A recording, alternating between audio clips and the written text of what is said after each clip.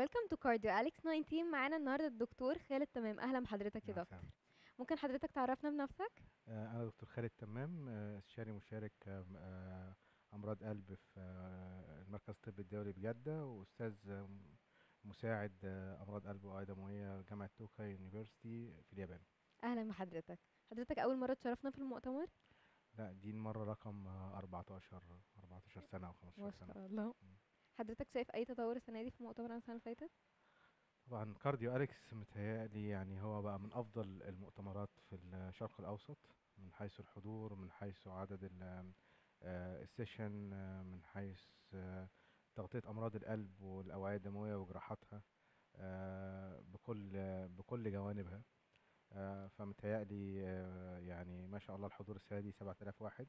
ما شاء الله. على حسب ما يعني اللجنة المنظمة آه، فده رقم آه، يعني كبير جدا إن كل أطباء القلب آه، والبطنة في كل المنطقة بيحضروا فده بقى أهم مؤتمر في المنطقة الحمد لله. الحمد لله.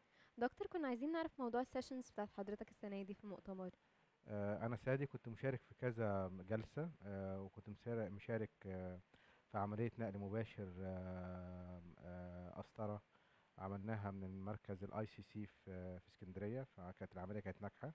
كانت عملية معقدة لأمراض لمريض كان آه، عنده آه، آه، انسداد في الشريان ال- التاجي مزمن بقاله سنين.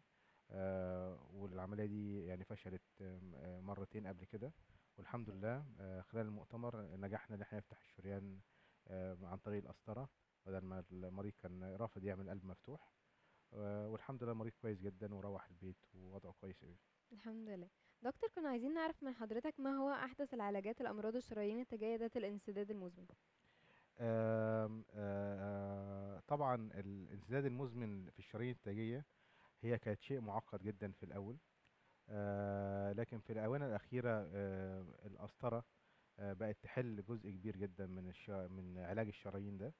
آه، وهو تكنيك بدأ في اليابان. آه، ونجحوا اليابانيين ال- يعني آه، باختراع بعض التولز أو بعض ال- المعدات آه، لفتح الشرايين دي.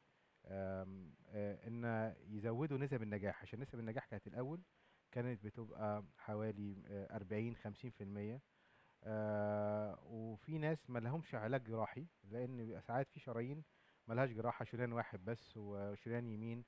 فما بقاش ليه علاج جراحي فالعلاج اللي يبقى لازم لا كان قسطره أو آه، علاج دوائي. وأثبتت ال- ال- النتائج أو ال- ال- الأبحاث الأخيرة ال- آه، فتح هذه الشرايين لل- للمرضى بتحسن الأعراض آه، بنسب كبيرة جدا. فالناس اللي ما تنفعلهاش جراحة آه، أو الناس اللي عملت جراحة قبل كده والشرايين دي اتسدت بقى فتحها عن طريق القسطرة آه، دلوقتي نسب النجاح عالية جدا فالقسطرة بقت حل مثالي ليها. آه، طبعا التكنيس كان كان صعب الأول وكان محتكرين على اليابانيين فقط. اليابانيين علموه كل العالم. بدأ الأمريكان آه، بقى عندهم ناس كبيرة بيشتغلوا. وبدأ سنتر كتير قوي تشتغل. أوروبا انتشر فيها جدا. آه، آسيا عندنا هنا في في الشرق ال- آه، الأوسط كله. مصر طبعا. آه، والشرق الأدنى وشرق آسيا. فبقى بقت حاجة متعارف عليها جدا.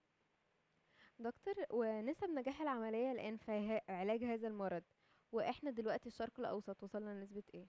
زي ما قلت لك نسب الحقيقة النجاح وصلت يعني آه، أكتر من 80% آه، بال tools الجديدة أو بالمعدات الجديدة اللي بقت موجودة بقى نسب النجاح عالية الأهم نسب النجاح كمان بقى ال complication أو ال- المضاعفات في العملية وبعد العملية قلت عشان بقينا بقى في مرضى كتير وزي ما قلت لك المعدات الجديدة أو الطب الحديث آه، سهل كتير قوي آه، قلل من المضاعفات. ال- الأطباء بقى عندنا أطباء متميزين كتير قوي آه، يعني عرفوا المرض وعرفوا إزاي يعالجوه بالمعدات الجديدة. آه، فال technology بتاع اللي موجود دلوقتي في في الطب حسن من ال outcome جامد حسن من النتائج من معدات نسب النجاح وصلنا بقينا نوصل لنسب نجاح آم، عالمية اللي هي 80% و90% وأكتر من 90% والحمد لله في الشرق الأوسط إحنا بقى عندنا centers كتير قوي آه، بتوصل عندها ال- volume ده وعندها نسب النجاح دي. فإحنا يعني الحمد لله آه، في centers كتير موجودة هنا في مصر وموجودة في اليكس كمان وموجودة في في اسكندرية وموجودة في القاهرة وموجودة في الشرق الأوسط في كذا مكان وفي السعودية في كل مكان آه، بقى عندها نسب ال- النجاح العالمية. الحمد لله. ميرسي جدا يا دكتور. كنا سعداء جدا بوجود حضرتك معانا السنة دي في كارديو أليكس. ميرسي. ربنا يخليك. شكرا.